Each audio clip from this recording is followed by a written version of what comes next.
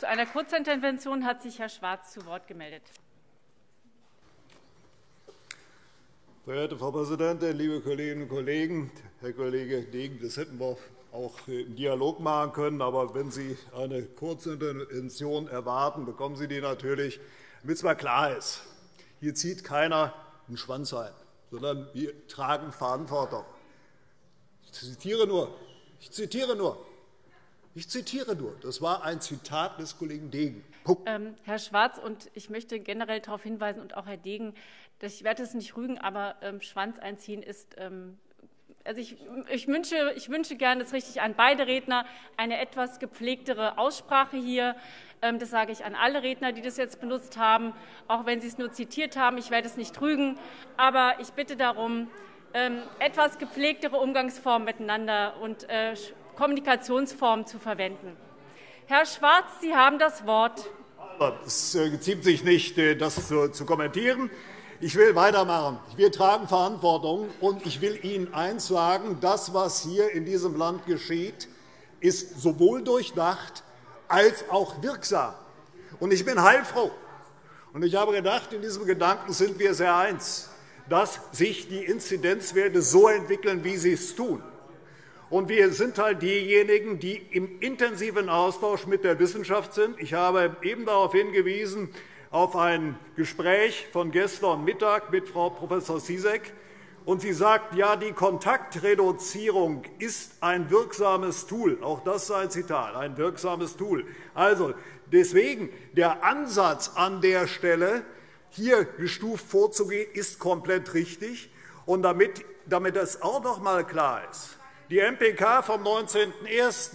Ich will mich da nicht hinter verschanzen. Die haben gesagt, nee, lass das mal mit dem Wechselmodell. Und haben im Übrigen ungeachtet der Farbkonstellation sich alle Landesregierungen, im Übrigen auch zwischendurch Baden-Württemberg war ja auch äh, am Überlegen, ob sie das zum 1. Februar machen. Entschuldigung, ich will, ich will, es nur sehr, ich will es nur sehr deutlich sagen. Und das, was wir machen mit unserem Vier-Stufen-Plan in der Umsetzung, ist nämlich so flexibel, wie wir es brauchen, von der Klasse 1 bis 6 in der Notwendigkeit und in der Verantwortung. Die Nichtbetreuung, sondern Beschulung vor Ort. 20% der Eltern nehmen dieses Angebot wahr, und der Rest der Schülerschaft wird dann im Distanzunterricht unterrichtet. Von 7 bis 12 machen wir das im Distanzunterricht. Und auch das ist Verantwortung. Die Abschlussklassen, Abiturienten, Berufsschüler, die gehen in den Präsenzunterricht, und dort ist Raum. Und wenn das nicht verantwortbar ist, dann verstehe ich Sie nicht, Herr Kollege Degen. Sie bleiben eine Antwort dann schon schuldig. Mich interessiert, wenn das, was Sie in fester Überzeugung hier vortragen, alles so richtig ist, warum gibt es kein einziges Beispiel in Deutschland, was das so umsetzt, wie Sie es fordern? Diese Herr Schwarz, kommen Sie bitte zum Schluss. Ende, verehrte Frau Präsidentin, diese Antwort sind Sie schuldig geblieben. Das wüsste ich gerne. Vielen Dank fürs Zuhören.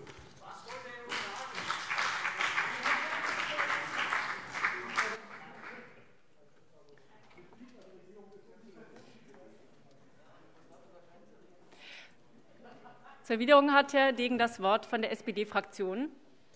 Präsidentin, zunächst bitte ich um Entschuldigung. Meine Allegorie bezog sich jetzt auf einen Hund, der den Schwanz einzieht. Das war äh, dann nicht angemessen. Dafür entschuldige ich mich. Ähm, Herr Kollege Schwarz, ähm, also, das ist ja lustig, dass Sie das jetzt noch einmal angeführt haben, gerade mit der Kontaktreduzierung. Weil ich habe mir ja noch einmal alle KPA-Protokolle im Plenarprotokoll angeschaut. Genau damit haben Sie ja argumentiert, Sie, dass Sie gesagt haben, dass Sie gesagt haben, die wissenschaftlichen Studien zeigen, dass äh, an den Schulen keine Ansteckungen stattfinden und dass selbst dann, wenn ältere Schüler sogar betroffen sind, die Studien zeigen, dass die Ansteckungen nicht in der Schule erfolgt seien. Und das war ja die ganze Zeit Ihr Argument, warum Sie gesagt haben, äh, man muss an den Schulen kein Wechselmodell einführen. Sie haben übrigens auch immer angeführt, dass ja nur ein oder zwei Schulen in ganz Hessen geschlossen gewesen seien und haben das alles runtergeredet. Also deswegen ähm, finde ich das jetzt interessant, dass Sie jetzt gerade das Thema Kontraktreduzierung anführen. Aber wenn ich jetzt noch gerade mal einen Moment Zeit habe, will ich auch noch eins sagen. Weil ich kann ja noch einmal verstehen, wenn am Ende man sagt, ich akzeptiere all das, was diese Gipfel entschieden haben. Aber man kann trotzdem sagen, wie man es beurteilt. Und ich sage Ihnen, wie ich in so einen Gipfel reingehen würde. Ja? Aber das tun Sie ja nicht. Sie geben ja überhaupt keine eigene Position nach außen. Was ich aber erwarte ist, und das erwarte ich wirklich, dass wenn Sie hier seit jetzt kurz vor den Weihnachtsferien sagen, das Infektionsgeschehen in den Schulen ist so hoch und so dramatisch, dass wir die Schulen faktisch schließen müssen, auch wenn Sie es anders nennen, dann seien Sie doch so ehrlich, und das gilt für Sie wie auch für den Herrn Kultusminister. Sagen Sie, wir haben uns geirrt. Sagen Sie, wir haben uns geirrt und wir haben das Infektionsgeschehen noch am 10., 11., 12. hier unterschätzt. Und hier zu sagen, das hat Herr Kultusminister damals gesagt, wir würden einen Popanz aufführen. Zitat.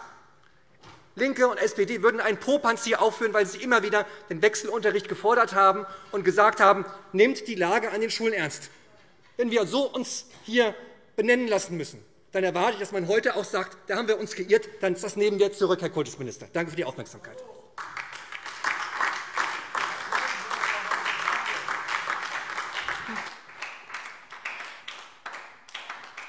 Für BÜNDNIS 90 die GRÜNEN darf ich nun Herrn May nach vorne bitten.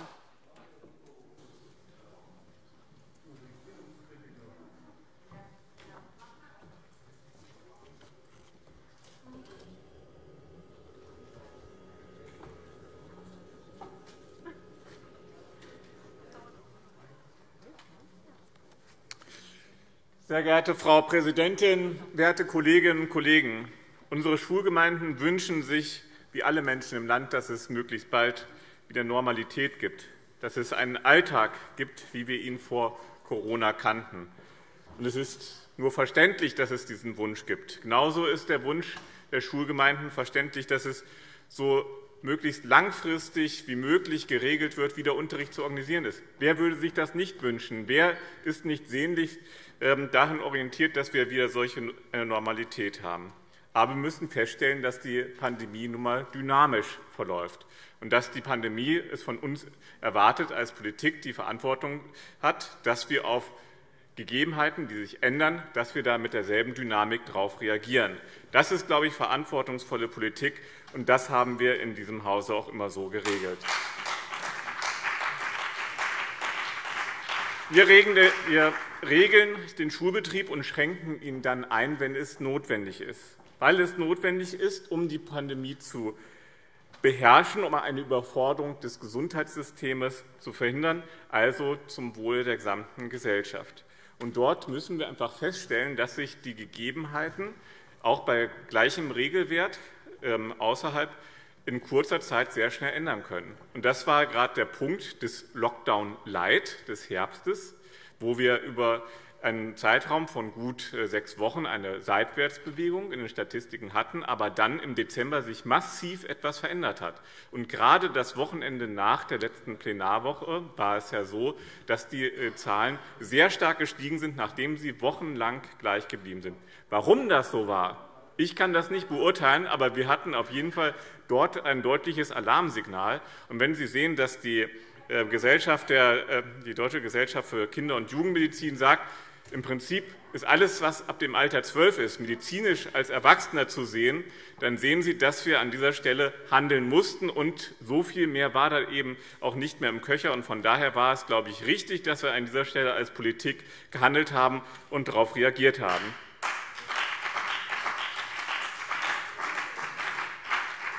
Dass ich jetzt ähm, so viel über die Vergangenheit sprechen musste, liegt auch daran, Herr Kollege Fromny, dass Sie selbst in Ihrem Redebeitrag viel über Äußerungen der Landesregierung ähm, geredet haben und über Handeln der Landesregierung, aber wenig über Ihren eigenen Gesetzentwurf. Das liegt kurzerhand auch einfach daran, dass da wenig Neues drinsteht. Die Vorredner sind schon darauf eingegangen. Sie haben dort eins zu eins den Stufenplan der Landesregierung kopiert und in Ihr Gesetzentwurf reingemacht. Einen Stufenplan, der als ähm, Handreichung jetzt schon im letzten Spätsommer rausgekommen ist. Das ist, ähm, das, das ist sehr interessant, dass Sie das jetzt sozusagen als große Neuerung äh, darlegen. Und wenn Sie jetzt dazwischen rufen, da hält sich ja keiner ran, dann muss ich Sie wohl daran erinnern, dass sämtliche Stufen des Stufenplanes auch schon einmal eingeführt wurden. Das müssen Sie einmal daran denken. Und von daher ist auch das, was der Kollege Degen eben gerade wieder aufgeführt hat, ähm, ziemlich, ähm, sage ich mal, an der Realität vorbeigesprochen. Denn wenn ähm, dort versucht wird, die Debatte in einen Pro- und Contra-Wechselunterricht ähm, aufzuziehen, dann muss ich sagen, das geht an der Realität vorbei. 14 ähm, Schulträger hatten zu dem Zeitpunkt, wo wir das letzte Mal über das Thema gesprochen hatten, schon eine Art Wechselunterricht, teilweise nur zeitlich ähm, und dann wieder äh, zurückgenommen, hatten Wechselunterricht schon einmal eingeführt. Und Sie selber hatten im letzten Plenum gesagt, dass Sie gar keinen landesweiten Wechselunterricht beantragen würden, dass das gar kein reines Plädoyer für Wechselunterricht gewesen sei. Von daher, ich weiß gar nicht, was Sie uns hier unterstellen. Sie konstruieren hier Widersprüche, äh, die es so gar nicht gegeben hat. Und von daher sehe ich auch den Gesetzentwurf der FDP als Versuch, ähm, hier etwas darzustellen, was sie gar nicht leisten ähm, und vielleicht auch gar nicht leisten können, ähm, weil das einfach aufgrund der dynamischen Entwicklung des Pandemiegeschehens vielleicht gar nicht möglich ist.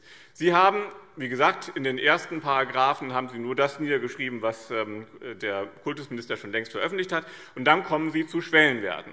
Schwellenwerten, die Sie noch nicht einmal definieren können, wie hoch sie sind, geschweige denn, wie sie denn ermittelt werden sollen.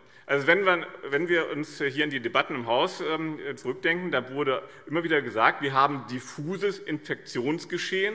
Und da sagen Sie, man könnte quasi mit der Lupe etwas auf die Schule genau ähm, messen. Und zumal Sie auch gar nicht sagen können, und wahrscheinlich kann das niemand äh, ähm, für, die, für den Rest der Pandemie sagen, wie sich sozusagen Veränderungen des Viruses auf das Infektionsgeschehen in Schulen letztendlich Auswirkungen hat und weshalb, weshalb, weshalb es nach meinem Dafürhalten wichtiger ist, Vorsicht wahren zu, wahren zu lassen und nichts zu überstürzen. Denn an dieser Stelle geht es letztendlich darum, das Infektionsgeschehen einzugrenzen. Und von daher glaube ich, eine Position der Vorsicht immer zu bevorzugen, anstatt jetzt einfach loszupreschen und etwas zu postulieren, wo Sie gar nicht wissen, was das bedeutet.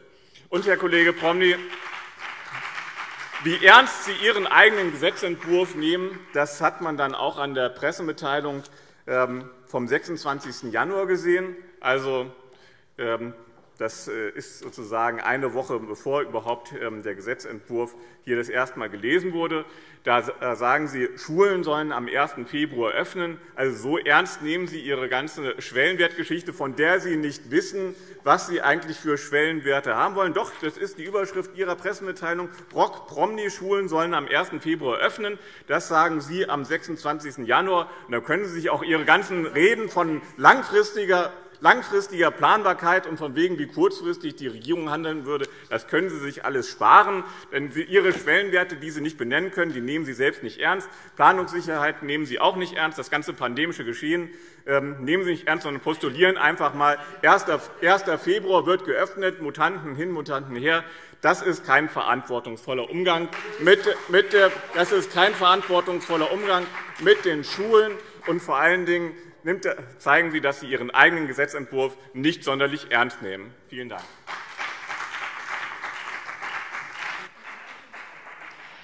Für die LINKEN darf ich nun Frau Kuller nach vorne bitten.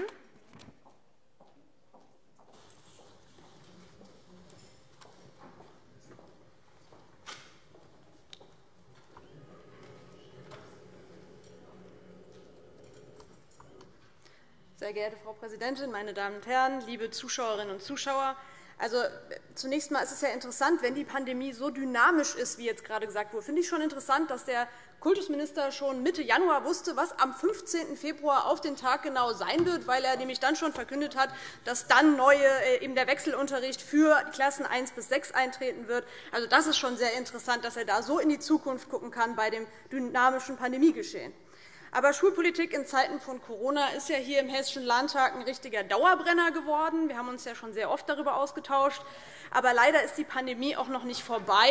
Im Gegenteil, äh, es gibt jetzt Mutationen des Ursprungsvirus, die noch ansteckender sind, äh, wohl eben auch vor allem für Kinder und Jugendliche. Und die wurden auch schon in Hessen nachgewiesen. Und leider ist auch die Politik des Kultusministers immer wieder ein Grund genug, das Thema hier im Landtag aufzurufen. Und heute diskutieren wir über einen Gesetzentwurf der Freien Demokraten, ähm, der schon etwas ganz Besonderes ist, eigentlich, weil nämlich die Freien Demokraten eigentlich nur gesetzlich festschreiben wollen, was der Kultusminister bzw. die Landesregierung eben selbst beschlossen, aber nicht komplett umgesetzt haben, nämlich den Stufenplan an Hessens Schulen. Und eigentlich, müsste jetzt, eigentlich müssten GRÜNE und CDU den Freien Demokraten ziemlich dankbar sein. Die machen nämlich ihre Arbeit, nämlich die Umsetzung der eigenen Beschlüsse zu kontrollieren. Also eigentlich hätten sie sich einmal bedanken können. Wir erinnern uns, wir erinnern uns in einer kleinen Rückschau. Letztes Jahr nach den Sommerferien haben wir als LINKE und auch die SPD einen Stufenplan für Hessens Schulen gefordert.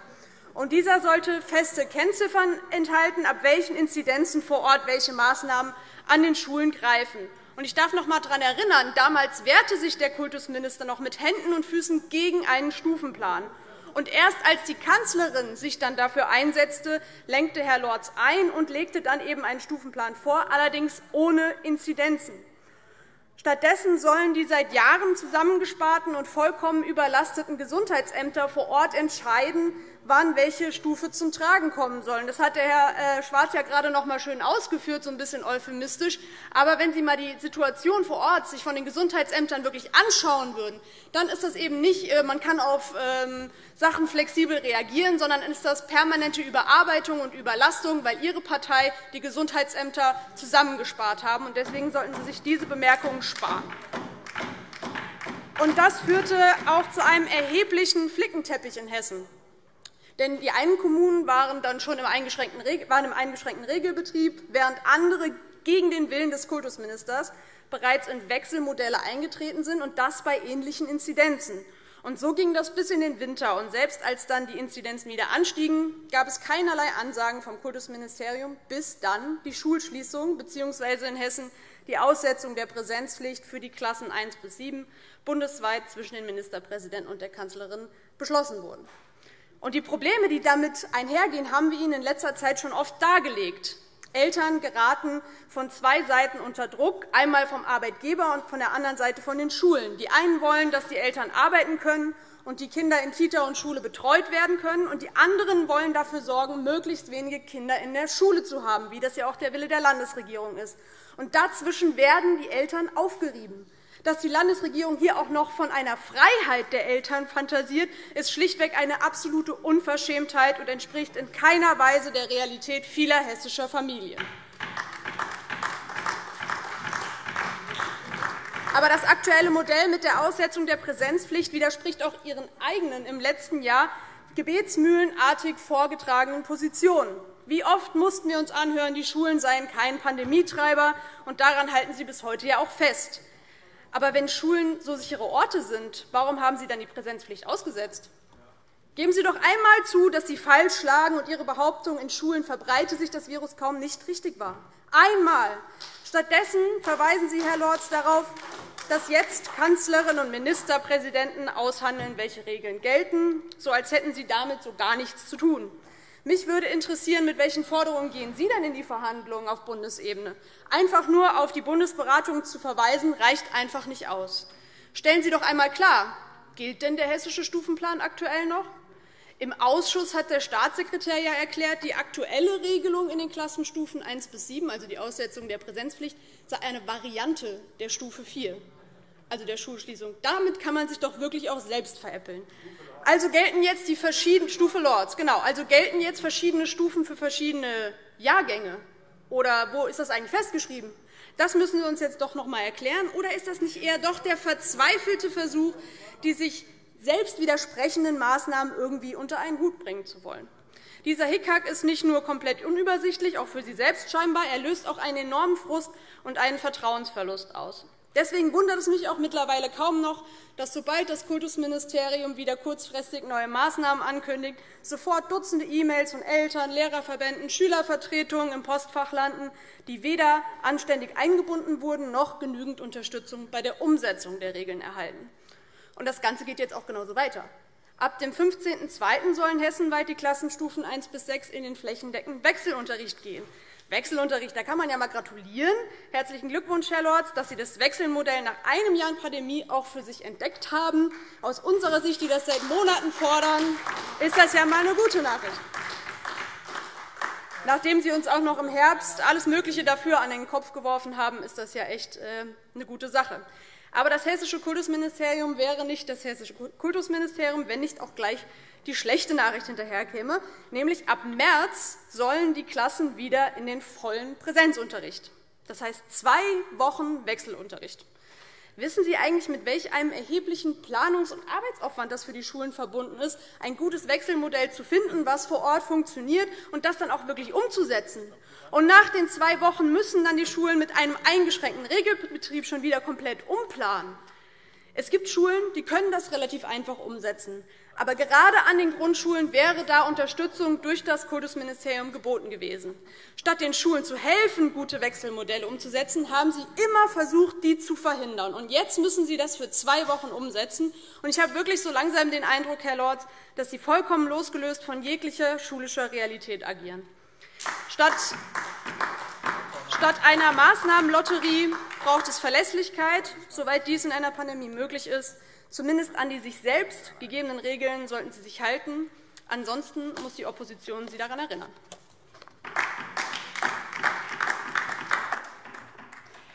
Für die Landesregierung erteile ich nun Herrn Prof. Lorz das Wort.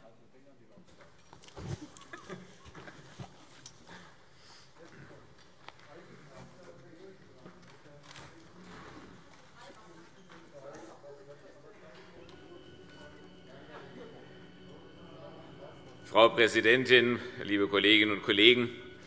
Äh, diese Debatte hat sich ja mittlerweile weitgehend von dem Gesetzentwurf gelöst, äh, der eigentliche Gegenstand sein sollte. Ich will jetzt einmal der Versuchung widerstehen, darauf auch einzusteigen. Ich bin überzeugt, wir werden in diesem Haus noch viele Gelegenheiten haben, diese Debatten zu führen.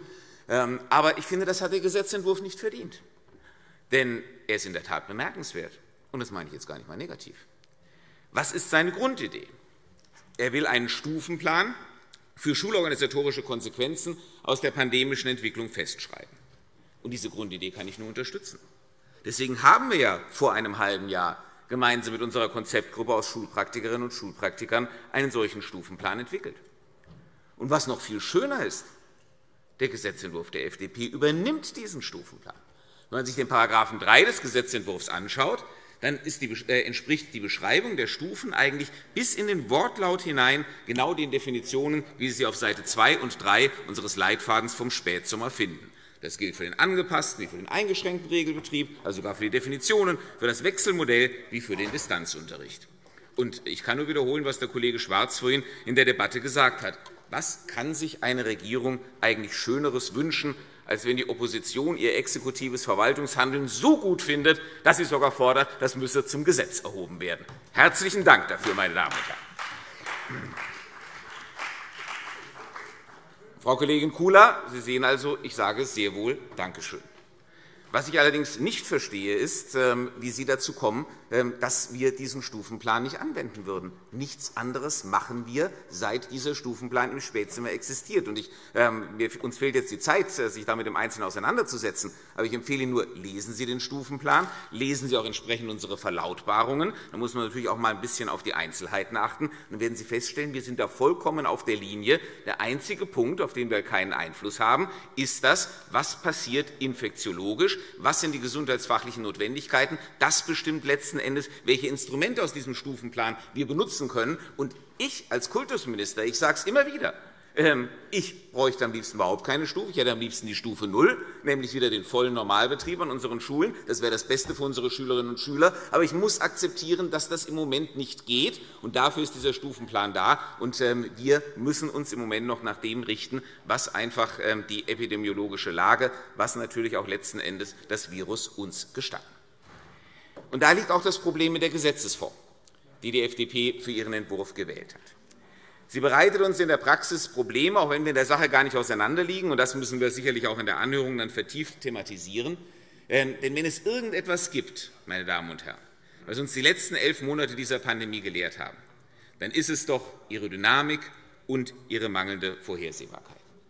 Und deswegen sind wir doch auch gezwungen, die Reaktionen auf die pandemische Lage permanent neu zu justieren und anzupassen. Und das ist auch kein hessisches Phänomen, sondern das ist etwas, das findet in ganz Deutschland statt permanent. Und ja, das setzt alle Beteiligten unter einen erheblichen Stress.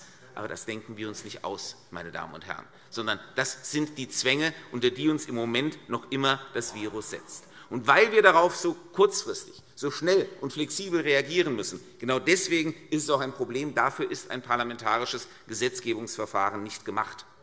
Und ich kann auch für diesen Stufenplan nicht ausschließen, so sehr ich von ihm überzeugt bin, so sehr er sich in den letzten Monaten auch bewährt hat, dass vielleicht die pandemische Lage auch dort zu Anpassungen zwingt. Und dann haben wir ein Problem, wenn wir dann erst wieder an das Gesetz drangehen müssten, um das zu ändern, um diesen Stufenplan modifizieren zu können. Und dieses Problem ist im Übrigen nicht nur ein praktisches, sondern auch ein verfassungsrechtliches. Denn wenn sich die Pandemie auf gesetzgeberischem Wege nicht schnell und flexibel genug bekämpfen lässt, dann verstößt die Wahl der Gesetzesform auch gegen den verfassungsrechtlichen Grundsatz der, adäquaten, der funktionsadäquaten Handlungsform. Aber das ist dann etwas, da können dann Kollege Promny und ich uns ähm, im Ausschuss und in der Anhörung gerne noch vertieft darüber unterhalten. Meine Damen und Herren, der Gesetzentwurf der FDP enthält aber noch ein weiteres Element, nämlich eben eine Verordnungsermächtigung zur Festlegung von Schwellenwerten als Grundlage der einzelnen Stufen. Und damit kommt er auf eine Diskussion zurück, die wir in diesem Hause schon öfter geführt haben und die ich einfach einmal wieder auf den Punkt bringen will. Macht ein Automatismus Sinn?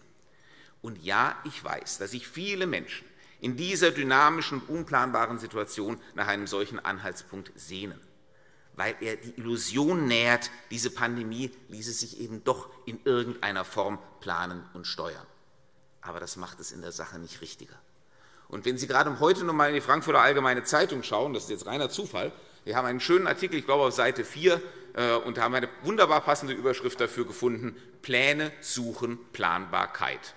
Und das ist genau unser Problem, was wir haben. Pläne können wir machen ohne Ende, haben wir auch ohne Ende in der Schublade. Aber die Planbarkeit, das ist im Moment der Takt, den uns noch immer das Virus, den uns die Pandemie vorgibt. Und das ist die Schwierigkeit, das in Übereinstimmung zu bringen. Und bislang ist noch jedes andere Land, das sich an einer schematischen Festlegung versucht hat, gescheitert bzw. hat still und heimlich das wieder einkassieren und davon Abstand nehmen müssen, weil es einfach nicht sinnvoll ist. Und deswegen wollen wir erst gar nicht damit anfangen, meine Damen und Herren. Und jetzt mal ganz ehrlich, Herr Kollege Promny, Sie wollen das ja ernsthaft auch nicht. Denn sonst hätten Sie entsprechende Sachen in Ihren Gesetzentwurf hineingeschrieben. Das haben Sie aber wohlweislich bleiben lassen. Und das, obwohl Sie ja anerkanntermaßen den brillantesten Mathematiker dieses Hauses in Ihren Reihen haben, weil Sie wissen, dass es nicht sinnvoll ist.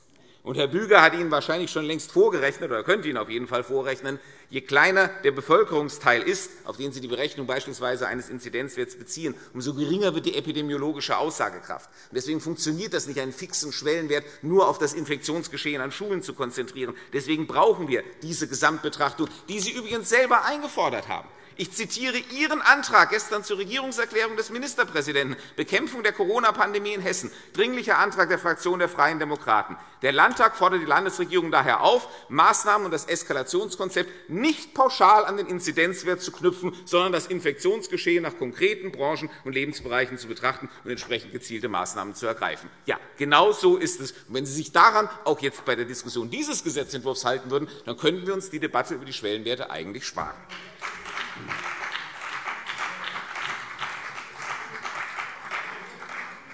Denn genau das tun wir. Deswegen nein, wir brauchen keine Verordnung über Schwellenwerte, sondern wir brauchen und wir haben ein Eskalationskonzept, das Orientierung gibt, das sich natürlich dafür an Kennziffern als Orientierungspunkte bedient. Das muss sein, aber das eben den Gesundheitsbehörden vor Ort auch den Spielraum eröffnet, flexibel auf das konkrete Ausbruchsgeschehen vor Ort zu reagieren, jedenfalls ab dem Moment, wo wir von der deutschlandweiten Regelung, die wir im Moment ähm, getroffen haben, wieder runterkommen und die Sachen wieder regional- und branchenspezifisch regeln können. Und diese Flexibilität vor Ort, lieber Herr Kollege Degen, die haben Sie ja sogar selber eingefordert. Aber das ist doch ein Widerspruch in sich, Flexibilität vor Ort, Entscheidungsspielräume vor Ort und gleichzeitig feste Schwellenwerte, ähm, ab derer ein bestimmter Automatismus einsetzen soll. Sie verlangen im Prinzip von uns, wir sollen Ihnen den Pelz waschen, damit Sie sich hinterher beschweren können, dass Sie nass geworden sind. Das kann auch nicht funktionieren.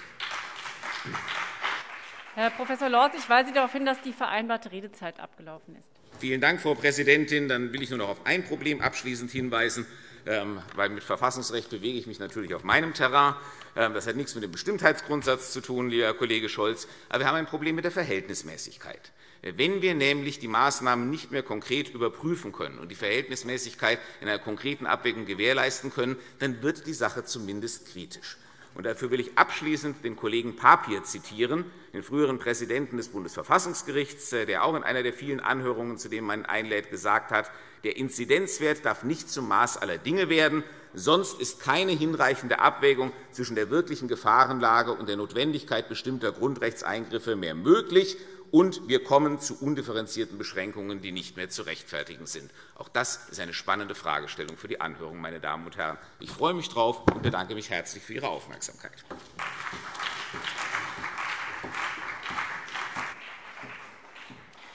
Meine Damen und Herren, wir tun nach demnach jetzt nach erster Lesung den Gesetzentwurf der Fraktion der FDP Top 5 dieser Tagesordnung gemeinsam mit Top 88, dem Dringlichen Antrag der Fraktion der AfD, in den KPA zur weiteren Beratung überweisen.